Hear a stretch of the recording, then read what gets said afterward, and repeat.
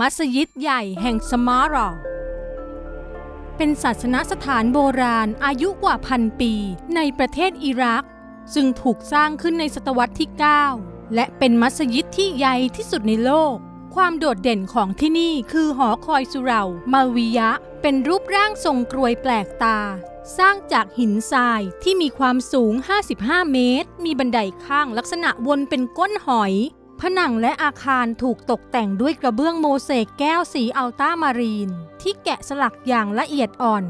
โดยผู้สร้างคือท่านอัลมูตะวักคิลผู้ปกครองเมืองสมารอ สร้างศาสนสถานที่ยิ่งใหญ่แห่งนี้ เพื่อให้ชาวอิสลาม สามารถปฏิบัติพิธีกรรมทางศาสนา และแสดงความพักดีต่อพระผู้เป็นเจ้าอีกด้วย